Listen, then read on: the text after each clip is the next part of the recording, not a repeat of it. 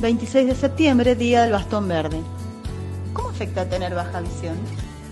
A lo largo del video observaremos tres simulaciones que permiten experimentar y comprender con aproximación cómo ve una persona con baja visión.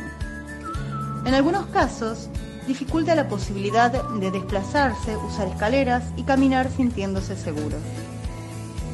En el 2002 se sanciona la Ley 25.682 que establece el uso del bastón verde como instrumento de orientación, movilidad y seguridad que facilita la autonomía de las personas con baja visión. Se utiliza el bastón verde diferenciándolo del blanco de las personas ciegas y del blanco y rojo de las personas con sordo ceguera. Ayudemos a cruzar, preguntemos qué necesitan, demos indicaciones precisas. Para más información, comunícate con la Escuela Especial número 35.